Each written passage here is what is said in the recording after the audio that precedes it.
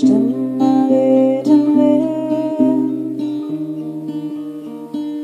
auf meiner Haut, vertrocknetes Laub.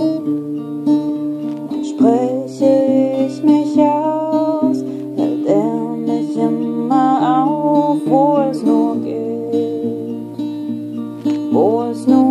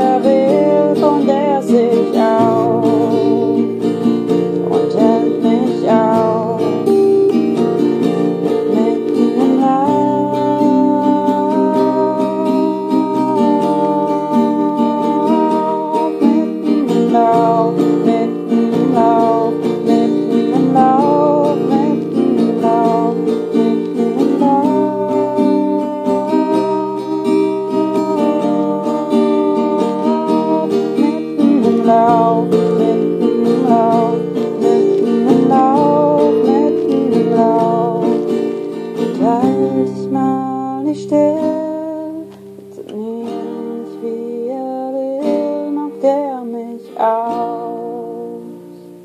Mitten im Lauf, mitten im Lauf.